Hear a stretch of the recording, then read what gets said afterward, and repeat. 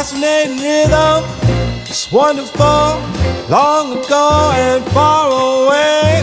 Isn't it a pity? Shall we dance? How long has this been going on? Jocko Sims stars as Dr. Floyd Reynolds on the NBC drama New Amsterdam.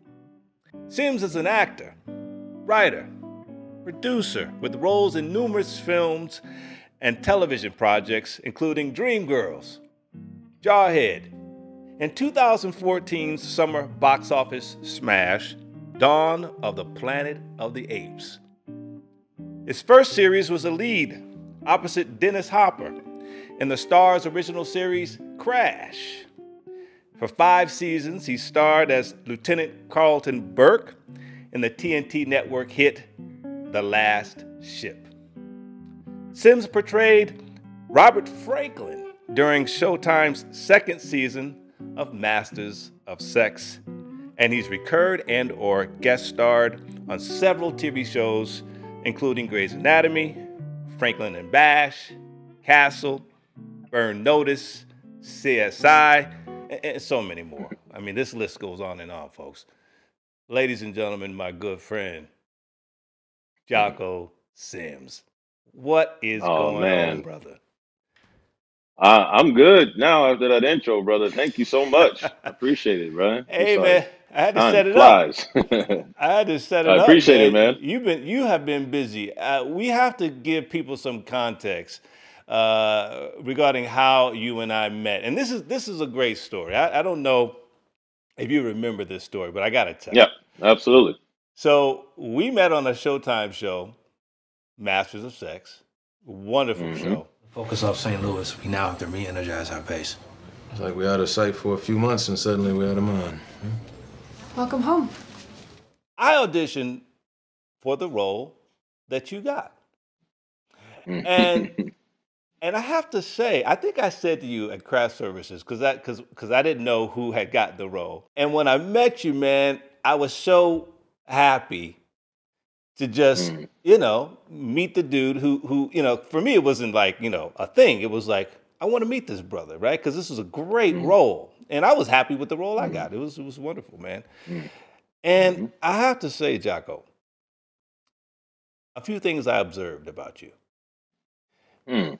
your professionalism, Mm. your poise, Oh. and your technique as an actor. Mm. And you know, and this was my first guest starring role on a on a show. But for you, Mhm. this was a big opportunity that you smashed. And I just want to I just Mm. want to give you that affirmation, brother, because I was observing the work and we didn't get to talk about it because we were in it ourselves doing our Right. thing. You know what I mean? Yeah. Yeah.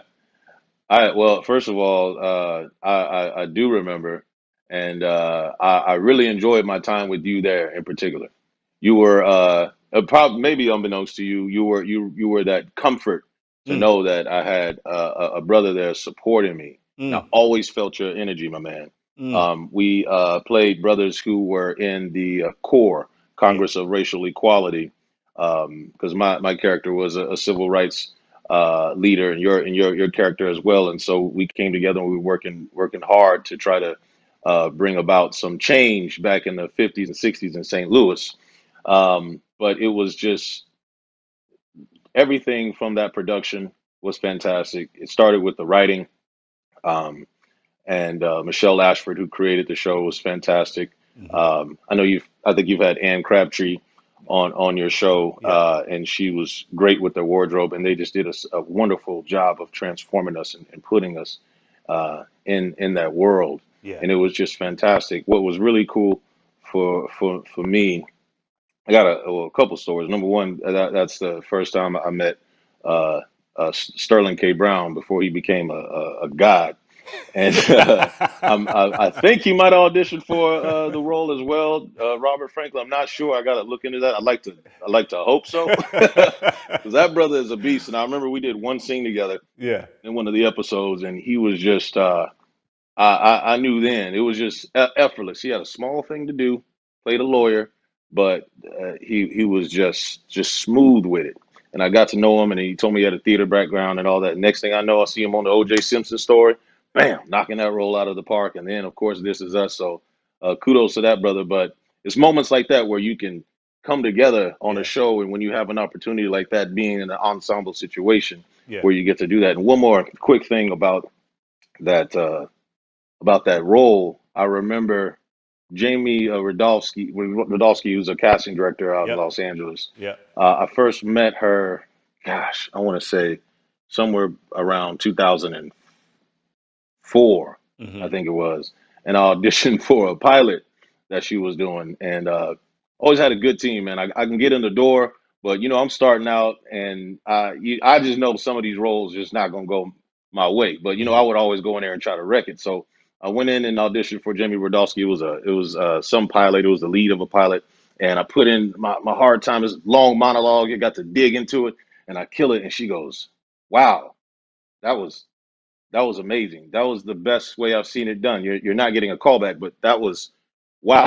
And I was just like, "Oh, damn," you know. So I, you know, being a I, I, I don't think they were giving brothers as much of a chance then to be a lead hmm on an ABC show or whatever it was, especially a unknown. But uh, she never forgot me. mm, And fast forward to ten years later, I walk into audition for Masters of Sex, and I was expecting to see another casting director who was the main casting director on there, and she wasn't there. In fact, it was Jamie Rudofsky. And I yep. walked in, I said, "Oh my gosh!" She said, "Hey, Jocko, we picked up right where we left off." And I'm telling you, I dug into that that audition, and it was just so and and I don't know, just great for me to feel that come full circle. Yes. You know, ten years later, here I was uh, sinking my teeth into a role, and and then I get to get to get to get chosen for it was it was just a fantastic experience, man. So shout out to Jamie. same, shout out to Jamie. You know, a few years prior to, to that audition for that role, uh, I auditioned for Jamie in a play, in Mm, a play called Hoodoo Love, written by Katori Hall. Now, okay. I, I had played uh, the role of Ace of Spades, and there was another production. So I walked in confident that I was going to get this this one as well. And Mhm. and Jamie was was the casting director, and Oh uh, wow. you know, and, and so I, I didn't get that particular production, which was which was fine because I think you know obviously you know how, how casting goes, but Yeah. the audition went super well. Mm. So like you, when I walked in, there she Mhm. is. And Mhm. and and I'm glad you brought her up in particular because she creates a condition for you to do your best work. Yeah, she does. It just the vibe, right? This is the vibe, and, and Mhm. she's like you. You just know that like she's rooting for you, and you you know you don't always Absolutely. feel that uh, that energy, Mm-mm. and so uh, that comfortability, and I, and I just thought, you know what? yeah, this is this is this is awesome. And, and I and I and I did my thing, and and uh, and I was so excited when I got the call just to be in that arc of a story. That Mm. story was a Mm. great story, um, and you Mhm. were fantastic, man. I mean, you you just have a you you. have a you have a stillness about you. You have a an introspective way that you you delve into your characters um, that is just really uh, beautiful to to watch. Uh, you're from Thank you San much. Antonio. You you're welcome, man. San Antonio, Mhm. Texas, huh? That's right. I was uh, born in Houston, Texas. Grew up in San Antonio before moving to uh, Los Angeles for 18 years. Now in New York, but yes, I, I grew up in San Antonio. Jock, when did you first um know that acting was going to be a thing for you? That's a good question. I actually, when I was in growing up in San Antonio, I, uh, I, I- when I was in high school, man, I was really heavily into science and uh, just really smart. I was the president of my Spanish club, was in National Honor Society, top five percent of my class, and I wanted to be a doctor, actually, ironically enough, and uh, or or a dentist. I even had a medical symbol on on on my high school ring. That's how Wow. sure I felt that was going to come to fruition. And I get to college, man, and for some reason, my first year there. uh, and in undergrad, I was just like, I don't know if I want to be in school now for the next 12 years, It's you know, studying. time. So I just, I'm just like, I just don't know if I want. I just immediately. So I'd always been creative, always kind of dabbed into into music and and and God knows my mom when I was growing up since middle school, she was like, you need to take some music classes or you need to take theater. You, I was like. I don't want to do that. No, no, it was fun. Like I like the idea of it. I'd Yeah. act a fool at home, but I just didn't just didn't think that that was my route, you know. So I get to college. I was at U of H, and I said, "Screw it! I'm now I'm gonna take a theater class." And sure enough, fell in love with it. I fell in love with it. And the year before that, my mom had moved from San Antonio to uh, Los Angeles, and uh, I told her, I said, "You know, I just took a theater class. I love acting. I think I'm gonna come move out there with you and and pursue it." And she said, "Come on, come on down." You know, Come on so down. she was happy to see me after a year, and uh, I went there. I finished up at UCLA. Worked hard, man. I worked hard in that class. All in classes, always trying to be the best, and uh, and it, and it paid off. But it's, Mm. you know, uh, I was very competitive too. You know what I mean? Like even in the, in the classes, I wanted to be uh, the the the favorite of the of the teacher, not Yeah. not personality wise, but just like I wanted to be the example Mm. that they use, or whatever the lesson was for that particular thing, and and uh, and it prepared me for when I started going out and auditioning. hmm And uh, I booked my first audition out, which was a co-star on the show on ABC, and uh, and then my second one. Right was out the gate. started, and then of course, yeah, right out the gate. But then you know, and then you got your, your lulls. You know Yeah. what I mean? Don't just don't start feeling yourself. and thank God I didn't, man. I was Yeah. always able to keep, you know, Yeah. Yeah. just like you know, Yeah. let's see. But um, but you know, much like everybody, you know, I have a, a vision in my mind where where things gonna go and where you're gonna take off, and hmm and it, it don't always go like that. It be on God's time, you know. Right. It, it Right. it's His rules. So, Right. But I just uh, put my head down and, and, and worked hard, and you know, we've had some highs and lows, like I said. Um, but uh, and I know we'll get to this eventually, but came full circle. Ended up playing a doctor all these years later.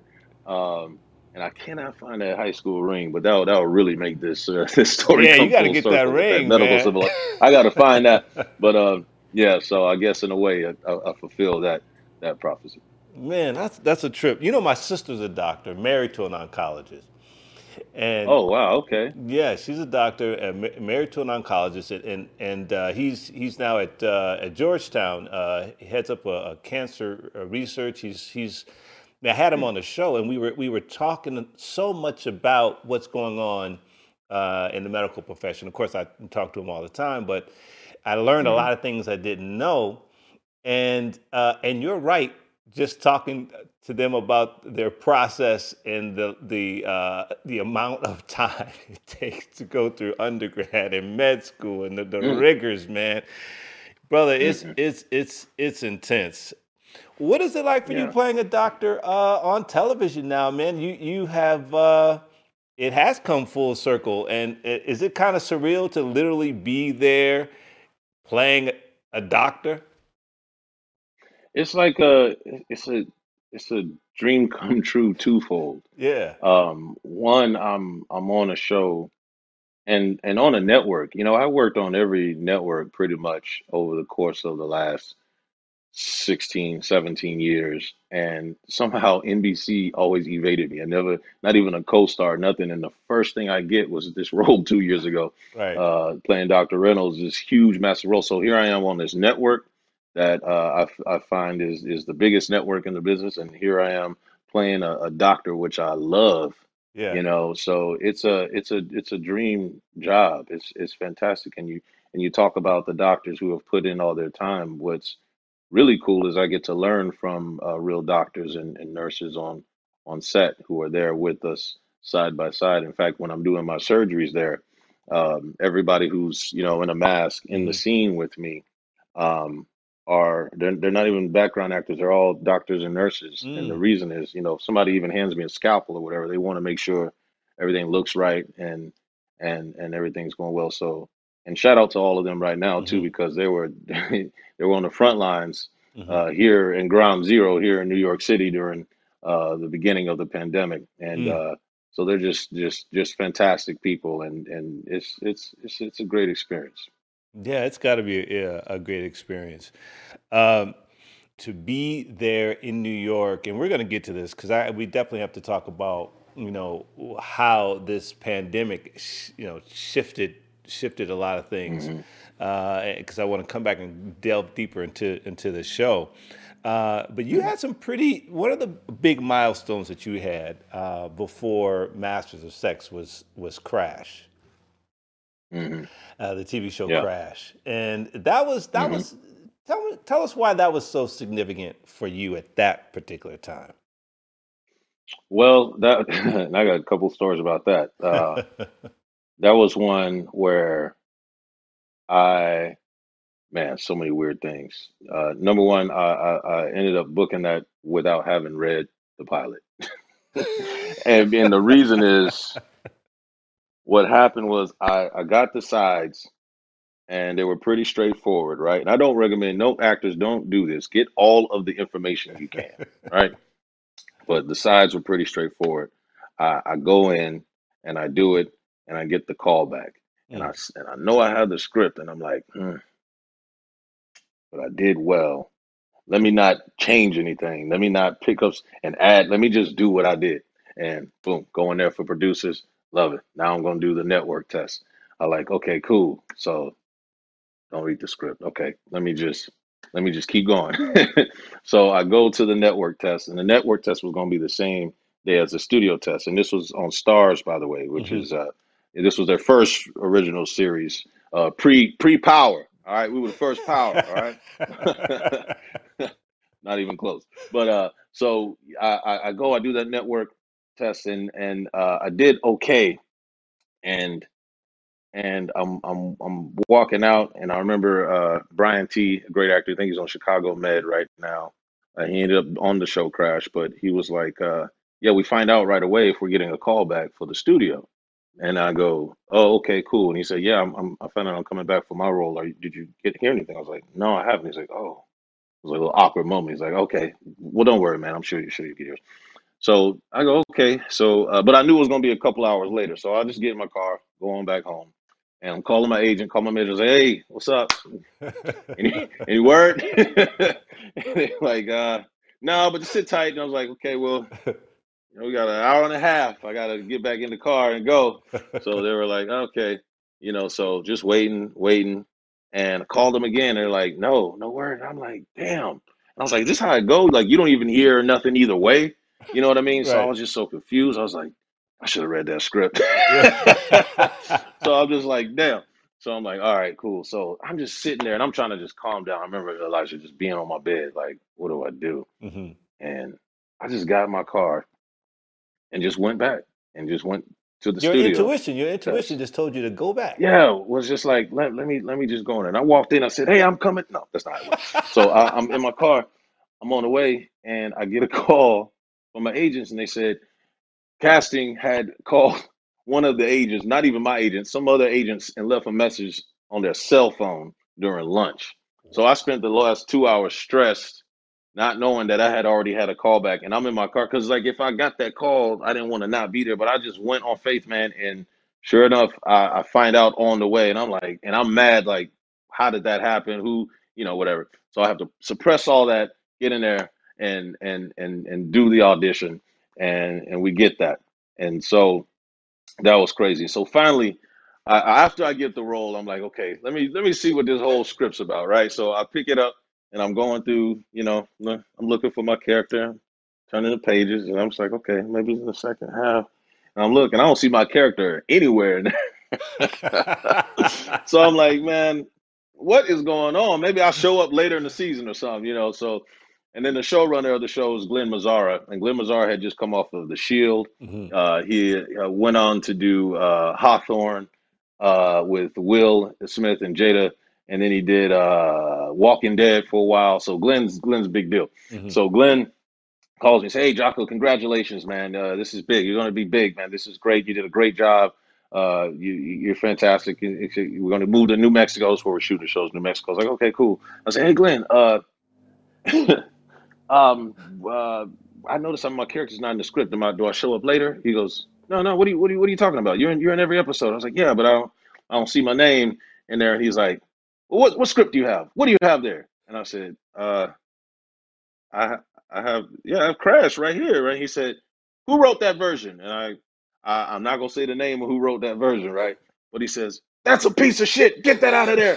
Throw it away. This is the first conversation I'm having with. Glen. He said, throw that away. He said, who's your agent? I was like, oh, uh, so he said, fire your agent. Hey man, hey, da da da. Can we get Jocko the script? Yeah, he's got the old fucking version. Da da da. I was like, oh shit, I got somebody fired. And they said, I didn't even have the script. I had the wrong one from the day one. So get it, and then I read it. I'm like, oh, okay, there he is. There's Anthony Adams. Okay, yeah, okay, this is now I get it. It's fantastic. So get to New Mexico, right? Yeah. And I knew that my character was going to be playing this character from the hood who was going to be driving a limo for this big uh, music producer, Mm. this Phil Spector type, you Mhm. know, a guy who was a little crazy, you know. Every now and then there's some gunshots fired in his house in the hills, you know, just says he might catch a case here and there. So it, it was it was a good story. So, but I get there in New Mexico and we don't have that main character, and this is the face of the show Yeah. and they have not cast this person yet. So I'm just waiting to see they're gonna cast. And they finally got the names down, and they said it was either gonna be Val Kilmer, Tom Sizemore, Harvey Keitel, or Dennis Hopper. I'm like, I will take any one of those, Yeah. but I was like, let it let it be let it be Dennis Hopper, Yeah. please. Yeah. And sure enough, man, he signed on for that, and it was uh it was good while it lasted. Yeah. They uh they they they messed that show up. we had a we had a good first season and I can't vouch for the second season. I don't know what happened. It was crazy. Wow. What did you learn from Dennis? What did you learn from him? Well, first of all, the his ability to come in and ju- fir- here's one thing I learned to take he he he liked to take his time. Mm. You know what I mean? He'd take his time, and if when he's he would tell the first AD, you know, so he'd get in there and say, Keith, God bless him. Keith be like, uh, okay, we're ready? Everybody ready? And he would not check with the actors. Mm. And uh, I didn't think it was a big deal. I just felt like I just had to be there. And he's like, whoa, whoa, whoa, hold on. You know, you got to check in with us. Mm. You know, make sure we're good. And I've never felt like I was in a position to, to have to say that or do that. But Mhm. um, just to see that for him, the process was was serious Mm. and that he had to uh, take his time. And also, I learned uh, humility. Here I am working opposite this Academy Award nominated brilliant actor Mhm. um, who, uh, if you guys haven't seen uh, uh, Blue Velvet, Mm. uh, go go go check it out, kids. It's fantastic. This man is uh, so so humble. Mm. I remember when we were in between shooting season one and season two, I called him up and said uh, I was going to have a screening in Los Angeles because we had moved back from New Mexico to Los Angeles in between. And I said, uh, I'm, I want to watch my favorite episode. I'm gonna have a barbecue over. He said, I'm there, man. I'm there. I was like nervous to invite him, Yeah. and he said, I'm there. I was like, wow. So he was 74 years old, drives up to my house, pulls up in a Pontiac G6, had rims on it, and he and I didn't tell nobody. My mom barbecued, and it was all black people. I didn't tell nobody. Wow. And Dennis Hopper knocked on the door and came in and sat down and watched an episode that he had already seen. I find out Wow. he just wanted to be around and share, and it was one of the greatest nights ever. And my friends were like, "What- "We taking pictures." He's on the couch. He's laughing at the funny parts of himself. He's Yeah. laughing at himself. That was cla- we were just like, "This is crazy," you know. And uh, so, just a lovable guy. And he at the time also was battling prostate cancer, Mm. Mhm. and I didn't know. Mhm. And when he started to really show, which was after the show was over, uh, and I saw how sick he was, that's when it really hit me. I was like, man, that man really loved to work, and Mhm. this is the show he wanted to work on, and he battled and battled through Mhm. to show up to set every day Mm. and uh, and do that, and that was that was crazy, man. That, that, that that that blew my mind, and I was one of the last actors to be able to to grace the screen with him, so it Mm. was quite a blessing. What a what a what a impactful uh, uh, experience, man. What that's a great story too. Thank you, man. It's, it's Yeah. I, That's a yeah, great so story. I'm blessed, man. I it's every every one of those has something like that behind it, and Yeah, I'm just thankful. yeah. You were also on this great show called The Last Ship. As uh, Lieutenant Carlton Burke, the head of uh, Team VBSS of the USS Nathan James. Uh, that, was a big, that was a big role for you. Uh, you know, interesting. You're going to find this interesting. Uh, Antwone Fisher, as, as as you may well know with the movie, was a Navy Absolutely. man, and uh, my dad was a Navy man. And the mm. reason why my dad, I, used to ask my dad, Dad, why did you choose the Navy? Why didn't you Why didn't you want to Yeah. become a Marine? You know, kicking Oh, ass, what did he taking say? it. He said, Yeah. he said, he said, he said, listen, son, who looks better in a navy white than me? it was the uniform. It was the dress white. Yo, love it. Jocko, it. was the uniform, man. I mean, the, you know, uh, it's just hard to I love it. the the. Well, how, how did you how did you enjoy that gig, man?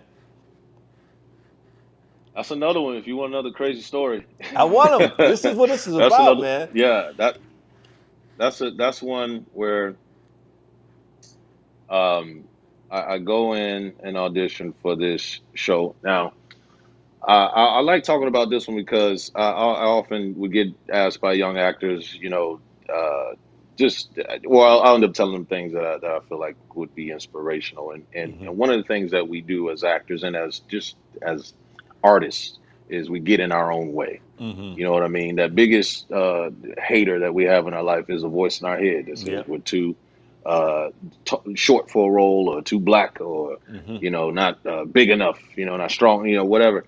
And this was one of those roles for me, uh, Lieutenant Burke, where the first thing I, I, I tried to do was try to get out get out of the audition because this was as tough as nails.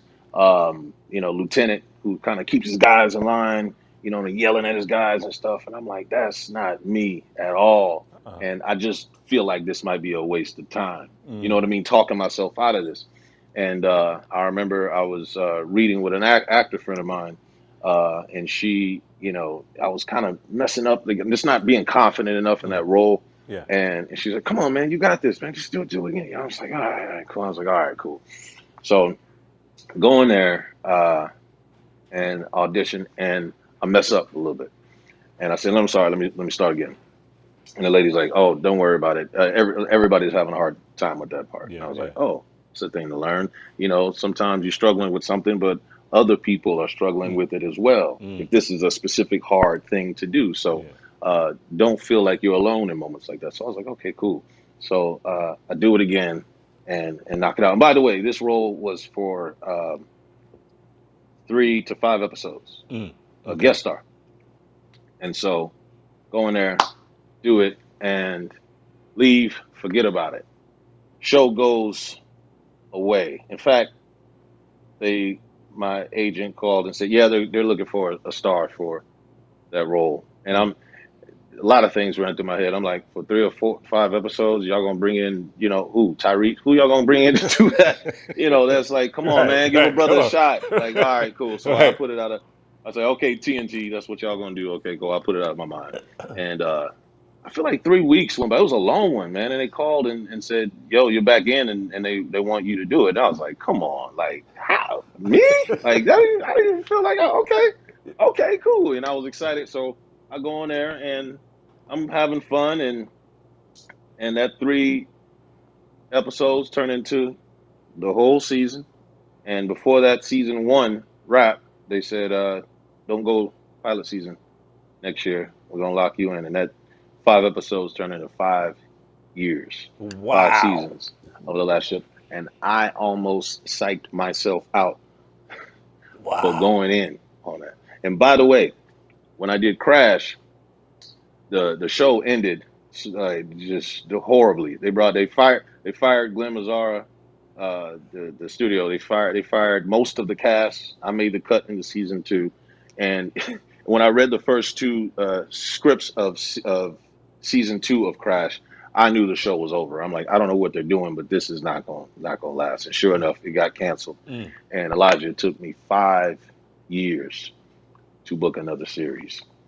And I, cause I thought that was it. Now Glen was like, man, you're going, to you know, you're opposite Dennis Hopper. You're going to be in Albuquerque for six years and die. we did a year and a half, and I was out. I, and and for those two years, I'm not on people's lists. Mm. I'm I'm not going in the room, and nobody watched the show.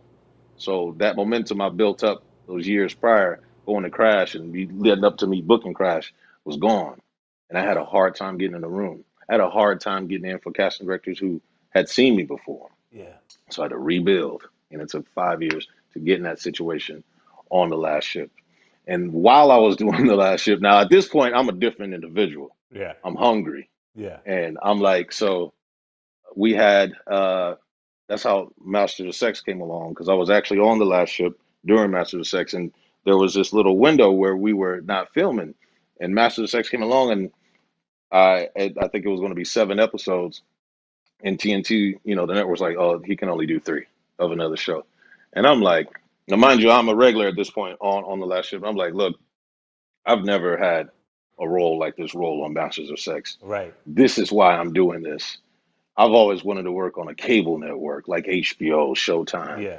And I said, I, I told my people, I'm doing this. Yeah. If I got to get out of my contract with as a series regular and make ex- way less money o- on the long run doing Right. this, Right. I will. I'll leave all that on the table because I want these seven episodes. Yeah. We pushed and fought, and they let me do it, and I got to go do that on Master Sex, and then come back and do the last ship, man. That's So cool. it that's incredible, and it says a lot about the integrity that you have to the craft, because Mm. actors, you know, true thespians, we Mm. want to do great work because we're thinking about the body of work, the legacy of the Right. body of work that we leave behind, and that Right. and that and that right there for your representation, those on your team, it, it sends to those in the business, it sends a huge message to where your priorities are as an artist. You know what I mean? Mm. That that you would sacrifice that to play a meaningful role that is going to forever be a part of your artistic legacy. Mm. Uh, mm. And that because you know that some people will not make that decision. They, they wouldn't fight for Yeah. that. They might be like, you know, because, you know, sometimes like the agents and the managers, man, you know, don't mess up the money. Don't fuck up the money. Right, exactly. You, you know, we, I, you know, And we, and- and- right? Yeah, and they and and that's the thing. And not to say that this role. I mean, obviously, the last ship role was extremely challenging as an actor for me. I didn't even think I can get it. So it's not to knock Lieutenant Burke, but there was something like you said about the message uh, that Robert Franklin and and fighting for civil rights and telling Right. this historical story and being on uh, you know a prestigious show that was nominated for Emmys. I'm just like this. This I, I got to do this and. Yeah. and it just felt right. And and I love that my team in this situation, because you're right, a lot of them could be like all about that check, Right. but this particular situation, they were very supportive, That's great. and uh, yeah. and and it felt it felt it felt right, it felt good. So That's great. That Yeah, good. you fall in love with the with the uh, Libby, uh, Caitlin Fitzgerald, uh, in, in the Mhm. Masters of Sex, and uh, uh, she's a white woman for those of you uh, who don't know. So that's why this story uh, of you know at that time was very uh, very significant.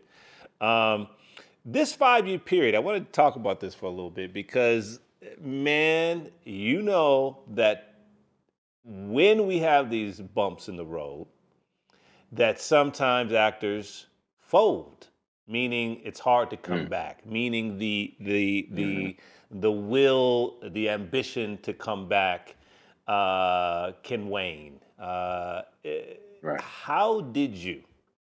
And there's a lot of actors out there who may be listening to this, who may be in that season of rebuilding, recreating, Mhm. reimagining themselves, reinventing themselves. You went through a five year reinvention. A Mhm. few questions I have. What were some of the things you were doing? What Mhm. were what mindset were you what were you adopting so that when Mhm. you came back it was like on fire because you like you said you came back and it was like on and popping you had your mojo Mhm. how did how, what was that process like for you So that's a good good question. Um, for me, uh, I learned that I, I did not want to put my destiny in the hands of of other people Mm, anymore. Like, I, and, I, and that's the big one of the biggest lessons I learned after crash. So mhm, I started writing. mhm. I started because I put all my eggs in that basket. Yeah. You know, I'm like, okay, you know, the creator of the show said I'm I'm on, and that I'm going to be on the show for six years. Well, he was the first person they fired, so my safety net was gone Mhm. in months. So I, I can't I can't rely on that anymore. Um, this is a lot at stake. You know what I mean? When you when you, when you're putting in all of this this energy. So I, I started to learn how to write and produce and uh, surround myself with funny people. I love comedy too. I haven't had a chance to do too much of it, but um, just surrounding myself with certain things and just staying creative. Um, and that was in yeah, that was it. That was within that five year period. Um, I hit re- reset. Uh, I ran out of money. Mm, Um, I, I moved uh, into my mom's apartment uh, and cried mhm, one time. mhm, And uh, I was there for because it was like I mean I had uh, spilled all this up. Uh, I went to UCLA. All my friends mhm, were were kind of looking at me as that uh, for that guidance and and as that one who's kind of made it out mhm, of the class and and it just just slowed mhm. you know what I mean? So, but uh, it just invigorated me, and I and I I never took my eye off that prize. But it was very very essential. I'm glad it happened Yeah. because number one, it made me light years beyond like a better actor. Yeah. Yeah, it, it made me so much more of a better actor that when the time, you know, the last ship audition came along, I did not, I, I you know, I thought I was over here with it, but I had, Yes. I had that lieutenant in me Right. that I didn't That know. life So experience. yeah, I had I had that stuff, and I, I'm just so I'm so thankful for that that period, and I and I feel like I'm I'm in another one, hmm uh, believe it or not, with and with- and but this time I'm in a, a a big boat with everybody Mm, because this pandemic uh, has slowed us all down, hmm all of our plans, no hmm matter how big or small, uh, no matter how comfortable we we might have been mm, and uh, or uncomfortable. You know, it was it's all been changed, and so over the course of this pandemic, uh, it's been the same thing. I've just tried to stay. cr- It's not easy, man. Yeah. It, it's it's not easy. It's it's nerve wracking and it's it's crazy. Hmm and it's you know you just question so many things and question God and like what and for the sake of everybody. And this this is this period is uglier than the, the longer you know period. I hope hopefully that five years for me was long but um but at the same time just trying to stay in touch with with like-minded individuals hmm and check on them. I love helping people hmm and inspiring people and inspiring my friends and saying, "Hey, I just found this book that's inspiring me to write a, a pilot. Yeah. Um, what have you been up to?" Um, and I got a friend who's you know dabbing in and out of. He was on shows, booked pilots and series, and now for the last three years have slowed down for him. So he's now diving into finance. And I'm like, okay, well, don't don't let go of your dream though Yeah. uh, while you're over there learning about finance, find a finance story that we can tell in this business. Yeah. So, you know, just so I'm checking in with him and I'm checking in with other ones and, and they're checking in on me. And that, having that team and those like minded individuals uh, is really, really crucial as well. Yeah. Um, so I, I think if, if how to hang in there, uh, you know, for me, it was writing, but I think that people need to always be ready to learn Mm, and continue learning and to take classes. If you're a singer, take an acting class. hmm If you're an actor, take a singing class, hmm take a directing class. Yeah. I implore all directors to take acting classes Yes. so that you know how to communicate with the people you're trying to get something from Yes. um, because there's nothing worse than a director you're working with who's giving you line readings or just doesn't really understand. So I, I love working with actor directors because they've experienced uh, what we go through hmm and they know how to communicate. So using these these these periods of slowness uh, or resets to enrich your mind and hone your craft and check in on other people Yeah. uh, is is really crucial and what had you know kept me going for sure. Man, I love that. That's that is I, I love that. It's, it's so crucial what you just said. The continuing to expand yourself and to uh, deepen and, and, and widen your talents. Uh, you know, some of the mentors that you know, I'm sure we share some some of the same mentors, and I've learned so many. Like I'm learning from you in this instance, and and I bring them up because like when I talk to a Bill Cobbs uh, uh, or Marla Gibbs or Irma P. Hall, you know, our, our elders in the business. hmm And I, you know, one of the things that they they always share these, the highs and the lows. You know, and when you talk about journeymen and journey women in the business, the one thing that I think is constant with the ones that I've gotten to know is the humility that you mentioned early on, mm.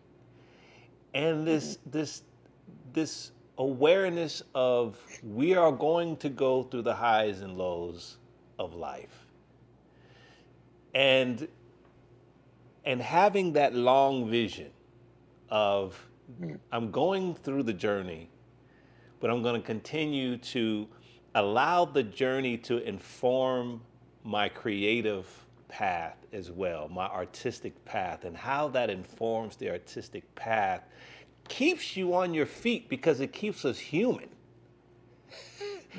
You know, Irma Yeah. P. Hall said something to me that was so significant. And I wonder if this if, if this ever dawned on you, if you ever had a conversation with someone who posed the question to you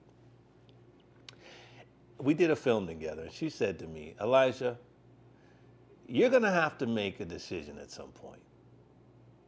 Mm. Do you want to be a great actor, or do you want to be a movie star? Mm. And I said, I want to be a great actor. Mm. Because there's a, there, the intention is a little different. Mhm. You know what I mean? There's nothing wrong with those who say, "Hey, I want to be a movie star." Nothing wrong with it. Mm-hmm. But I mm-hmm. feel, I, but but for me, I was like, I want to be a great actor, and and and so that's why I, I connected that to you going through this experience and you becoming a better actor. Because you set your intention to always, no matter what you're going through in your life experience, for that to inform your work. Mm-hmm. And I love what you said about the highs and lows. It reminded me of a, a professor I had at UCLA who said something very simple, and he and he, he was very random. He'll just be all over the place. It was a movement class too, so he'll just throw out just tidbits of stuff, and you got to Yeah. catch it. And one thing he said is like, when when you book your first role or you when you go book a, a big job, don't go to the bar and drink. He said because Ah. then you'll want to go to the bar and drink when you don't. and you don't want to end up in that dark place. He said, just cool. Yeah. And and that way, and that's how, you know, I because remember I booked those first two out the gate. I just, Yeah. you know, so I'm ready for whatever life can can throw at me because you're just keeping a balance. And that's how you ride the wave Yes. of the highs and lows. Yes. But I have seen people do the contrary and Mm. be up here and be up here with it mentally Mm. and I've seen that. I, I've seen this, and, and and when this comes down, because it will come down. It will come down, just even if it's a little bit. When it when it comes down, it sounds cliche, but how do you process that? How do you handle that? And I, I have a friend who doesn't seem to be dealing with that very well, and I tried to warn this friend. So I saw this person just pop. I'm just like Just just tranquilo. take it Tranquilo. and and and it's it's it's wear and tear on the Mm. individual. So I'm glad that I I, I, I love what she said, and um, I I see that. I think it's crucial for uh, all artists out there to to know to embrace the lows, Embrace just embrace it, and and Yeah. just be be be- become better, stronger. hmm Go spend more time in the in the gym. Uh, get healthier. hmm Learn about juicing.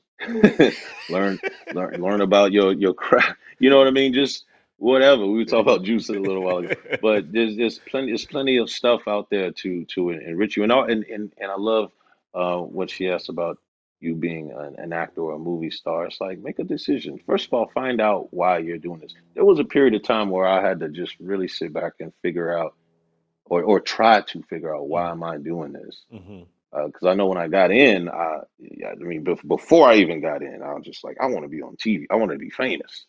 And then that that didn't feel right. that didn't feel right real fast. I just say, wait, do I? Like, I don't, really don't want that. And and I'm still at that point where I, I I'm I don't know, but at least I'm open and I'm not trying to define. But I'm always searching, and I think that we we need to be doing that for asking why. Why why Asking are we doing this? And make sure that your your heart's in it. Yeah. So that's another thing. Your your heart got to be in it.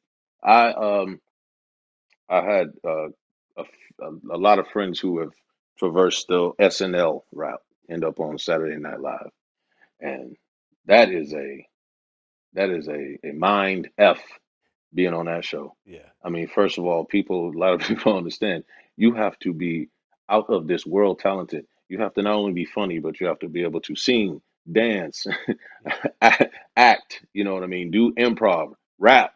no matter what your color, you got to always be creative and be on your toes, and for almost very little reward. yeah. Because those actors, uh, compared to other actors on t- television shows, don't get paid a lot because it's come on late at night on Saturday, I think, and they don't have. I I don't know why they don't, but they just don't. Um, so watching them uh, struggle Mm. uh, sometimes mentally, and I saw one leave, and uh, he was at the top Mm. On that show, and he he he left, and he he had to do what he had to do, and I couldn't imagine, you know, getting to know what he was going through. I would not even imagine him staying in there, Yeah. you know. So point is, d- you know, you might find as you get older, this if something don't feel right, you know, you got to make a move. You got to make a move. You got to make a move. Either go go go harder, hmm or or if your heart's not in this, then you know you you got to be happy.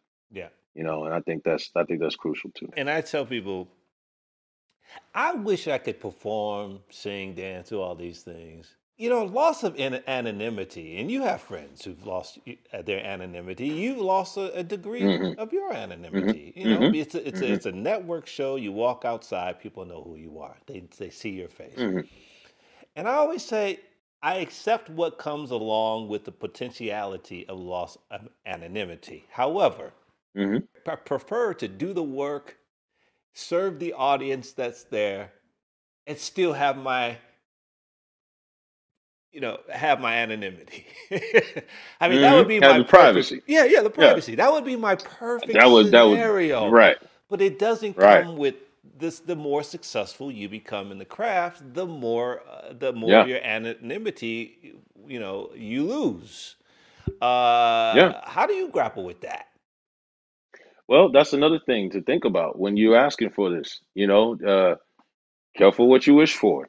hmm You know, um, I I had to learn early in the days of MySpace when I first did Crash, when I would just get weird messages for people who were suddenly interested in in shit about me that I'm just like that's that's that's weird. That's really weird. You you know, so and it so I'm I just would get nervous and I still am about people who have an unhealthy interest in in aspects about you that just like that's that's a, that's a bit scary. You know what I mean? So I've always been a bit guarded since then, and, and have my my guard up. Like for example, like I, I'm just I, I don't know. I, I not to knock fans. I love fans and I need fans. I love pictures. I don't think I've ever turned down a photograph or autograph. If I come out somewhere out, out of an event and fans are waiting on somebody and I get no attention, uh, I was going, I'm gonna cry. so I, I I love it, but there is a level of just having to be careful yeah, with you know certain people, and that part of it is is just a little a little scary. But again, you know, it's just it comes with the territory. yeah, You know, it's not like being a marine. you know, that's dangerous. yeah, You know, in a whole nother way, and and many many many jobs, uh, sanitation worker, all of it, uh, a yeah, doctor during COVID, a nurse. So, you know, that's one of those things. Either, you know, you decide that you're going to serve, like you said, serve your audience and uh, uh, be a vessel through which they could learn hmm stories and see beautiful stories and pay that price um, and then see if it's worth it, you know. Yeah. But yeah, that definitely is something that you got to kind of just kind of watch, You gotta you know what I watch. mean? Yeah. You gotta be on. Gotta have Yeah, have your head on the swivel, as they yeah. say. Oh yeah, Uh, oh yeah. uh, so this is you. You gave me a perfect alley oop, by the way. Uh, by the way, uh, speaking of uh, referring back to uh, doctors, because uh, Mm. you uh, again are on this great show, New Amsterdam. Uh, can you share a little bit uh, about the history of the show for those who are uh, going to become new fans of the show based uh, after they see this and hear this interview? Yeah. So the show New Amsterdam is based on the oldest public hospital in America. It's so old. It's called Bellevue, and it's right in the middle of Manhattan. It's still still there. It's so old that uh, it's older than the United States. Wow. So the founding fathers, before they uh, signed that Declaration of Independence, they made sure that we had a, a hospital and uh, had a little bit of a reputation over the, the decades of uh, being uh, an insane asylum hmm uh, because it was known for its its mental health uh, ward.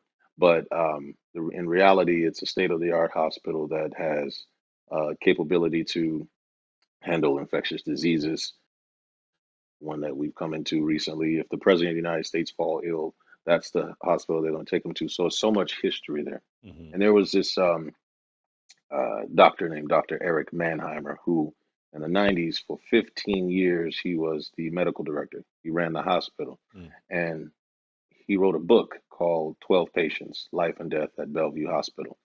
And it was uh, it, it was it's in, it, was insane the amount of stuff that he had to go through just to help patients, the, Mm. the red tape, bureaucracy, this uh, politics. And so he, he writes this book, and our uh, creator of the show, David Schulner, and Peter Horton, executive producer, came across it, and they teamed up and decided to make a, a series about it. So what makes this show different than others is that it is based on a true story. Uh, I play the head of the cardiac surgical department and how I ended up getting the job. Um, not not in real life. Uh, my character ends up getting that job is when uh, the guy who plays Dr. Max Goodwin, Ryan Eggold, he comes in first day, his first day on the job, and he's looking at all the numbers and he's he's looking at stuff, and he, this hospital is just in shambles. It's a mess. So the first thing he does is fire the entire cardiac surgical department Mm. and he, he looks back at the numbers and he realized that my character was a little bit different and he goes he you know he sees that i didn't um, just do unnecessary surgeries to try Mm. to make money for the hospital. I actually put the patients first. And so Mm. he calls me back up as i'm literally packing up my office. This is in the first episode. And he goes so i notice you know you you operate differently. And i give my reasons and say you know i'm not in this for you know I, i'm in this because i care you know and so i'm not going to do an unnecessary surgery. It's just we don't if i don't make that quota or make that money it is what it is. Mm. and he says well i want you to stay and not only do i want you to stay i want you to run the department and so that's how our relationship forms on the show and yeah Wow. that's what it is You, uh, the actors on on the show are phenomenal. You guys have a Mm. wonderful chemistry, and I've, I've heard some imi- uh, interviews about you talking about the the camaraderie uh, that you have on Mhm. the show. Uh, and I know David Schulner. he, he he talks about how the show centers around social issues, medical issues. Uh, there's some issues, eh, particularly when it comes to race Mhm. that are significant uh, in, in this show as well. When you, had three episodes to to shoot before when the pandemic hit, hmm what was what what was going on? Can you just what happened? Yeah. So, well, what happened? You you mean the three? Because we had three more episodes left to shoot in left season two left when they when they when they shut us down. And what's crazy is we had written an episode about a pandemic that breaks out and it overwhelms the hospitals in New York, and we call extra help. We get other doctors to come to the hospital. We wrote that over a year ago, Wow. and we finally get Wow. around to filming it and a real pandemic breaks out while we're filming it. Wow. And the doctor, played by Daniel Dae Kim, who we end up calling to come help us out in the hospital, actually catches COVID while we're filming, and then the production shuts down. That's right. Talk about art imitating life. Brother, it was very surreal. And I incidentally, my character had uh, left left uh, the uh, show during that time, so I was not there for those three episodes. hmm Um, and uh, it, we we did have a breakout uh, there on set, and fortunately, everybody is healthy and, and fine today, including the star of our show, uh, Ryan Eggold. He got Yeah. sick. He just revealed recently. Um, so that was that was really wild to see that and to see that really happening. So we um, we've had to revamp. Um, we have to obviously change some stories because our show is based on a reality, you hmm know, and and and our show is based and we literally shoot in in, in Bellevue Hospital uh, sometimes, and and that that was ground zero for this on on planet Earth. Mm. Uh, this was the worst place, you know, and um, it's it's crazy. So uh, the the production has started back up. hmm Uh, I won't reveal whether or not my character or how you will see my character again, but um, uh, it, it's it's going to be really interesting. Uh, getting, I, I think this will be one of the few shows where you get a really uh, a different perspective of hmm what has happened with this pandemic because we all have our own personal stories and, and God knows that we've had way too many people that we've lost hmm during this time and um, and we hear a little bit of the stories of doctors and nurses and what they had gone through but with our show you'll get to really see it and again the people who are some of the doctors who are producers on our show and who are hmm there side by side with us were they weren't working on our show during the pandemic. They were they were there you know on the front Mm. line. So we're going to tell some some real stories and and I think the world will get to see uh, the type of things that that we've had to grapple with and that we're still grappling with because this is not over This is not over. You're right. Uh, yeah, I heard you gave uh, the cast. You guys gave some of your uh, PPE equipment uh, from the show to to to folks out there. That's that's awesome.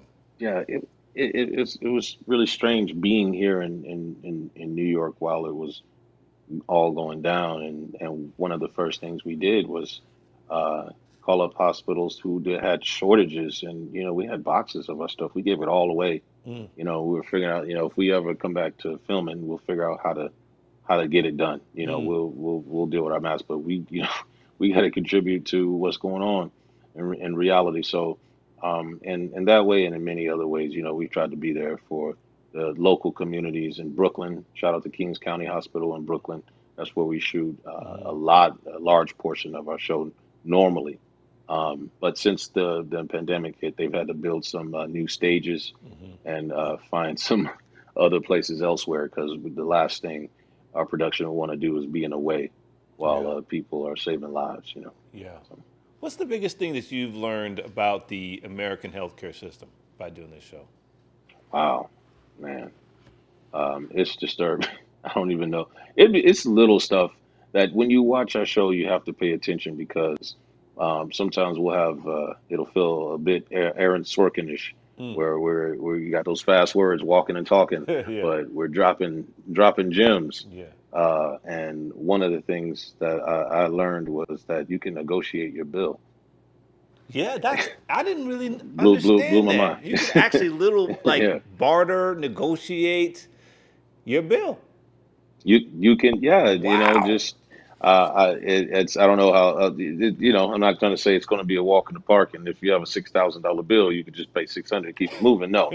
But it's it's it's a conversation you could have and Yeah. and you know that's how that's how it, it should be because a lot of times you'll go in and end up having to have a surgery or something and you're not always you know able to know what what hmm something's going to cost. So you think it's going to be one thing you wake up and your bills this long you know? So uh it's it's it's crazy but just also uh learning the struggle that that doctors go through to uh try to get things done and procedures done for for patients um Mm. it's it's really it's really shocking. But at the same time, you know, while we're telling these stories, uh, we're also giving these heartwarming stories. You know, we uh, like like other shows, you know, we have a problem and we try to find a solution hmm by the end of the episode, and that always feels good. I always tell people you're going to need a, a box of Kleenex every episode because uh, we we dive in, and if we if we don't get to it, I'm sure we would, but it is every.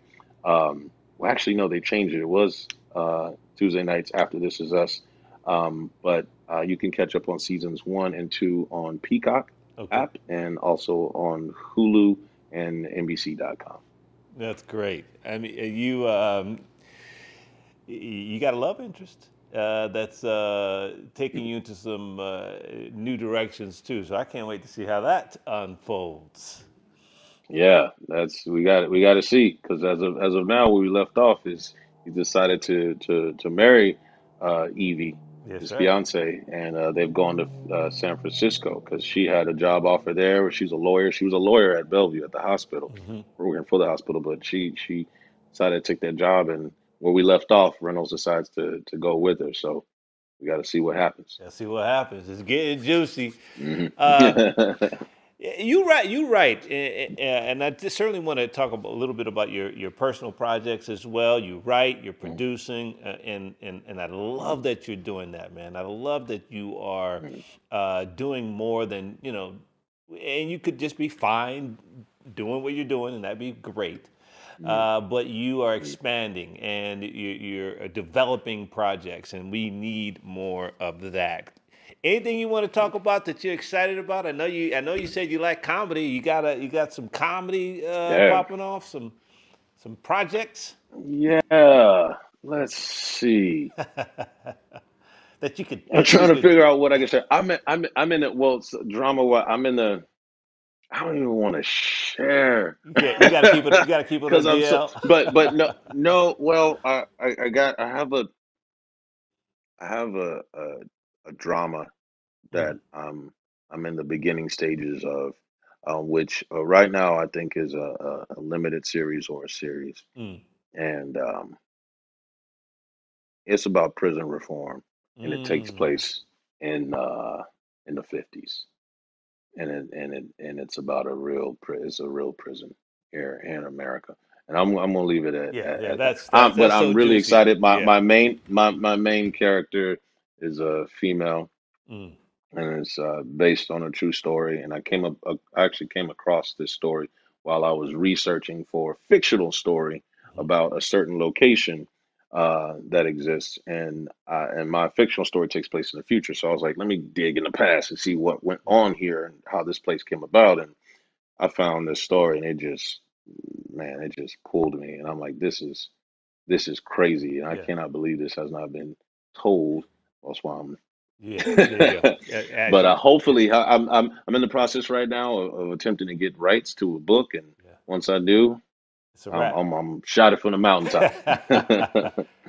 but uh, but it's great. But but speaking of but speaking of writing, it's like yeah. that that and other things for me have always just come out of nowhere. If I try to sit down and just write with no inspiration or or you know that's that's that's difficult but it's always life experience or i'm looking for for diamonds and find gold Yeah. you know and and looking over here and and and talking to people Yeah. you know I, I i i when i found an idea the first person i called was my friend who's a screenwriter and say what do you think of this idea? You know, you could obviously talk to anybody. It could be your mom, your brother, your cousin, your best friend. Yeah. Uh, and I did that too. But but calling him was crucial for me, for him to stamp, wow, I wish I Yeah. had that.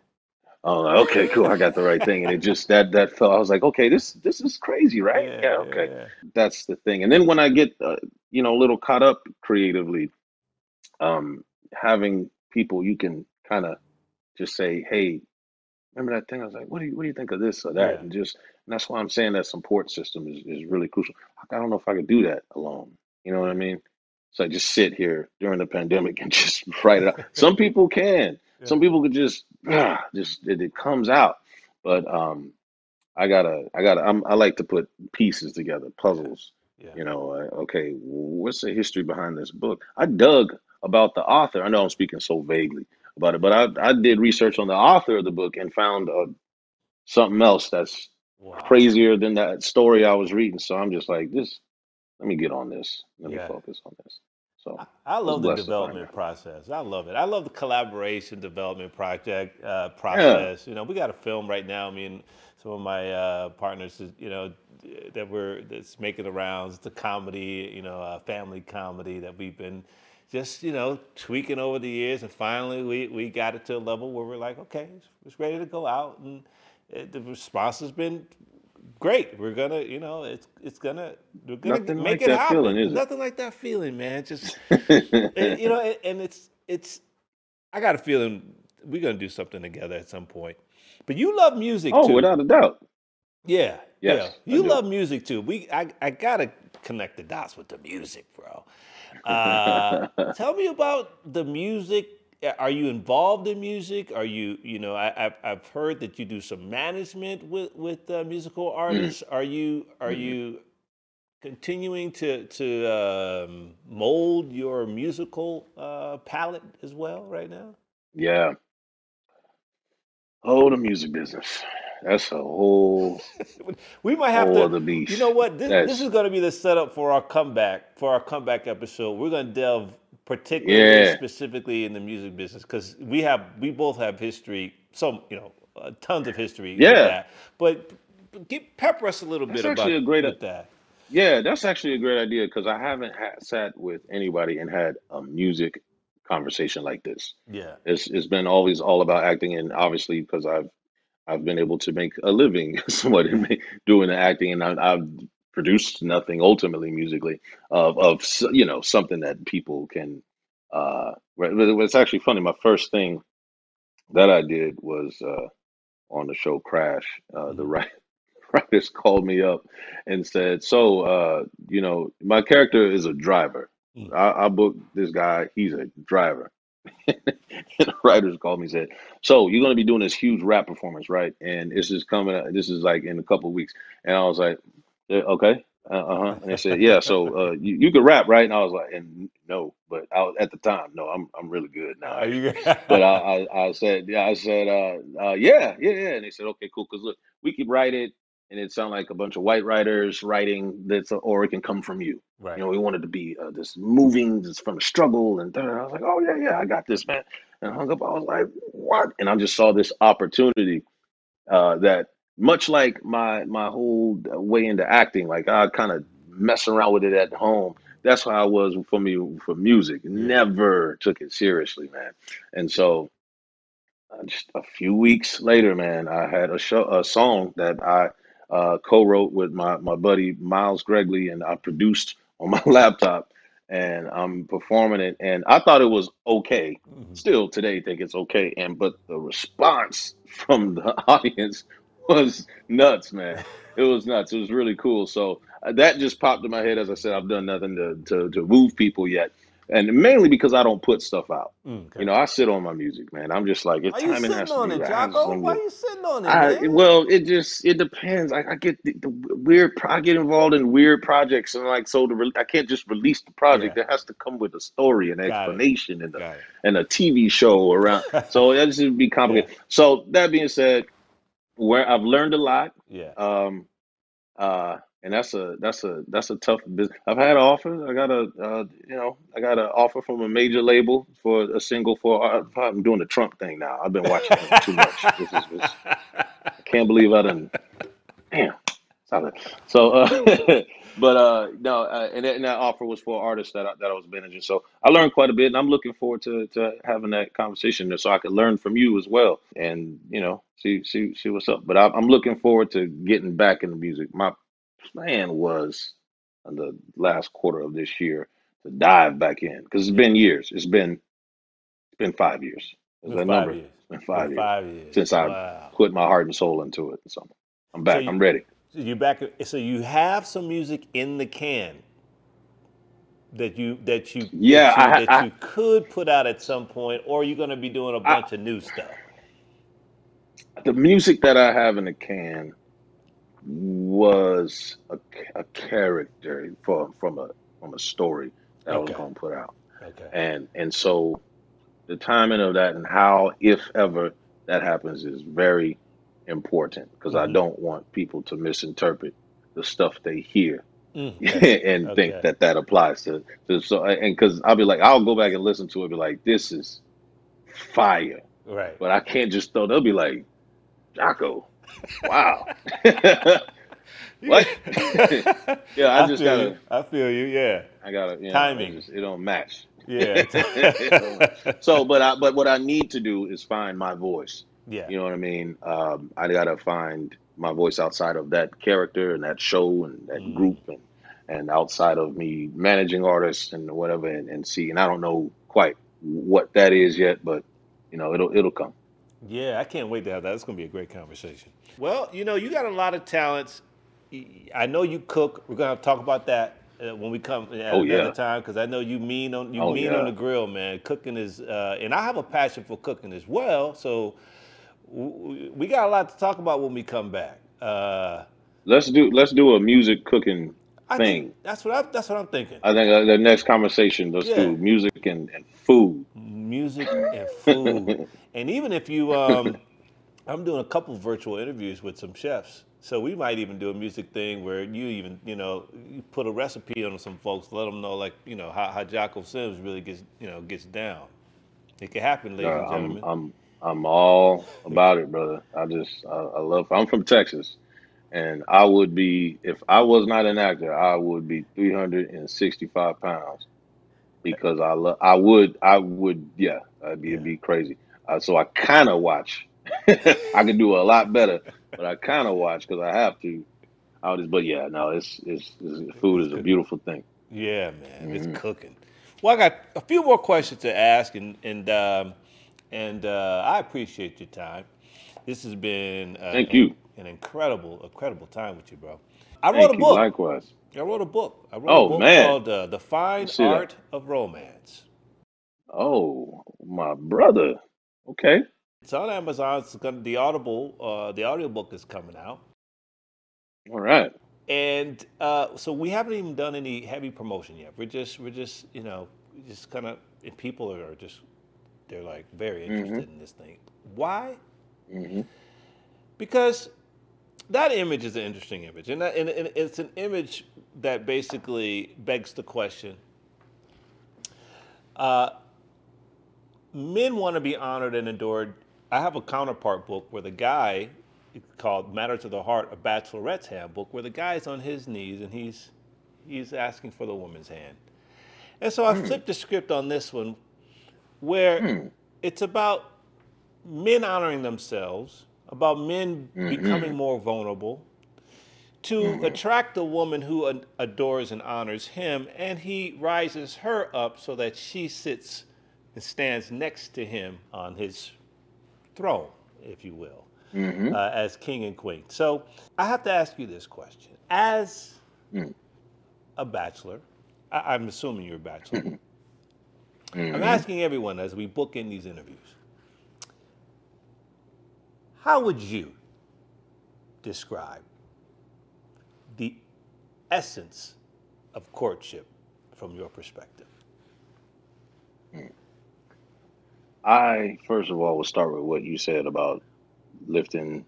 Said something about men lifting themselves up to, uh, and, and and I think before courting anybody, before falling in, in love with anybody, um, much like we were talking about with the business of finding out what it is that you want or why you're doing something, you better have all that lined up. You got to know where you're going. Mhm. you know what I mean? Before you spend time um, giving yourself or, or getting a woman to give themselves, you got to have all all that Mm, together. That's that's that's what I've I've learned the most in out of, out of being in relationships. But because it's real easy to just go dive into something yeah. head first and be like, oh, this is great, you know, and then you get to know somebody, or they get to know you, and it's a it's a it's a whole other thing. So um, for for me, it's been, yo, let me work on on me, Mm, you know, before I I, I bring into my space. You know what I mean? Let me have this together so that I can give her everything mm, that uh, I'm capable of. right. You know what I mean? Yeah. So that's that's that's where I'm at with that. Yeah, because you're whole. You're whole, and you and you it, because the wholeness is is so so important. You know, if we're if we're not whole, then how can we be All right. how can we be in a position to attract a whole woman? You'll blame them for for for things, or you're not you're not able to, um, you know, uh, see or deal with certain situations. If you know, just you're, you're right, being being whole and and understanding that from that perspective before you dive in is very crucial. Very crucial. And, and, and the authenticity part is, and and that's the one thing that I think as artists, we have this intention to excavate our, our, ourselves, to get to the root of ourselves, to be more authentic with ourselves. Now, translating that authenticity when we date is really what the book's about, you know, like just mm-hmm. being that honest. You know, if everyone could be eh, as honest as we are in our pursuit of characters in our mm-hmm. everyday life, hmm. On both sides, you know, just the the complete transparency of like this is where I am, this is what I'm interested in, this is what this is what you know uh, I desire. Uh, it would uh, cause for a lot less uh, friction between men and women.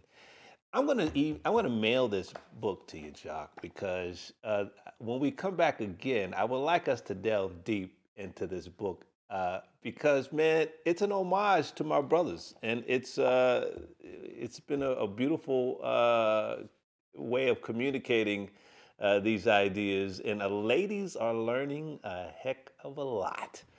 Uh, because I'm speaking to Oh guys the yeah. Oh yeah, I'm speaking to guys. Ladies okay. want to. Ladies want to know how You know, we speak. you look. It's so funny because first of all, what comes to mind is is think like a man. Yeah. Um, and then also, uh, speaking of shows, there there was a, a show, the comedy show that I, I had an idea about uh, years ago, appropriately called "All Guys Are Assholes," and basically, what it what it was was, you know, you were going to be able to, in a comedic way, dive into this world of guys being guys, yeah. partners talking with each other, uh, those conversations that I, I wanted people to watch this and I wanted guys to laugh and be like, wow, yeah, that we do say that, and that's crazy. And I can't believe, wow, they they put that on the thing. And I wanted women to be like, nah, no way. You know what I'm saying? And and it's it's just giving people a chance, and particularly women, uh, a chance to to see, you know, the good and the bad. Yeah. You know, what's what's going on um, with with with men. So it's it's interesting. It seems like that that's an opportunity with your book for for for women to to learn about the the man's psyche, That's right. and God knows that uh, we can both sexes can can use any opportunity we have to That's to right. learn about the other. That's right. So that's great. I will I'll, I'll support it. I'm, I'm looking forward to reading it. absolutely. You never know what can come of it. Uh, One last question. Your Mm. vision for now. Your vision for the future. My vision for now, I guess, would be more like a uh, an, an immediate thing, and um, when I'm passionate about something, I, I I literally can't sleep. Like in a sense where I'll get to sleep and I may wake up at 3 a.m. with ideas, hmm and I I'll be like shit, hmm because I know I gotta get that phone and get the ideas, and that may last two hours, and I'll get back to sleep at five. So, um, point being, the now is uh, what I'm immersed in creatively, hmm uh, and I'm I'm really excited about it. And um, I'm just going to keep trucking uh, until everything's in order hmm and uh, we can get that off the ground. So that would be now. And you said, uh, what was the question about the future? Your vision for the future. Vision for the future. My vision for the future is to just uh, come more into my own, um, to continue to uh, inspire people. Um, I think that's probably the most gratifying aspects of being blessed and, and, and able to do uh, what you and I do as artists is to inspire people. And as long as I'm doing that in some way and influencing people to be better as hmm themselves and be better to other people, then uh, I, I I can be happy. Mm. And uh, that's what I would hope and pray for for my future that I'm able to do that uh, on whatever scale, larger, Mm. large or small. Mm. Man, I appreciate you, brother. Uh, you come from good stock. and when you know how when black people say that, uh, that means that your parents, uh, your family, they raised you uh, with love and integrity. And um, you know, shout out to your family and your and your peoples, man, because they they uh, they gave birth to a great soul, and so uh, you now are are are flourishing in so many ways, and it's just the beginning of, of this incredible life that you are sharing with us. And we're just so happy to, to get to see uh, wonderful glimpses of it on screen. And, and uh, I'm happy to know you. I can't wait to, to see you in person again and, and, and have a meal and, and connect. It's amazing how during COVID, uh, this opportunity to uh, this piece of downtime that we have, I've been able to connect with you in a way that uh, I've never been able to connect. Uh, it's just you know you know how it is, timing and and and, and mm-hmm. everything else. But the fact that it's happened in, in this way is, is a blessing, and uh, this is going to be a blessing to so many people who are, are tuning in. So uh, I am humble I'm grateful. And uh, man, I'm rooting for you uh, as we come out of this situation and, and, and that whatever the new normal is, uh, that you continue to have plenty of opportunities to share your talents with us. Thank you very much. Well, Elijah, thank you so much. And uh, likewise to you, my brother. I'm humbled. Uh, I, I, I, was I jumped at this opportunity. I'm glad I see you're doing great things. Uh, I'm glad to be a part of it in any way. And um, I look forward to seeing you in person, my brother. And uh, I look forward to our next chat to get that music and that cooking conversation going, my man. And thank you so much for those kind words. I really, really appreciate it. Mm. God bless you.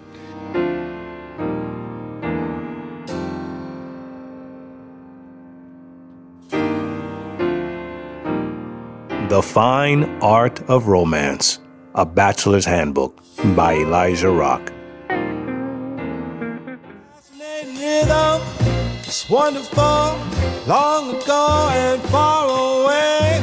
Isn't it a pity? Shall we dance? How long has this been going on?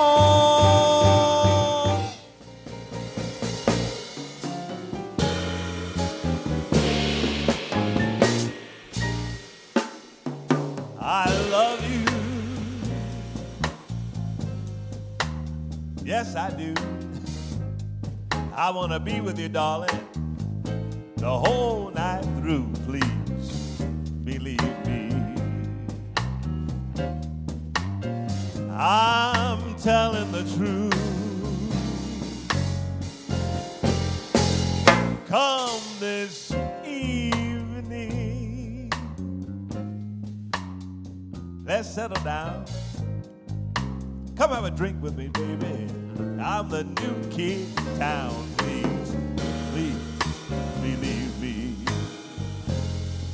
Darling, I'm mad about you.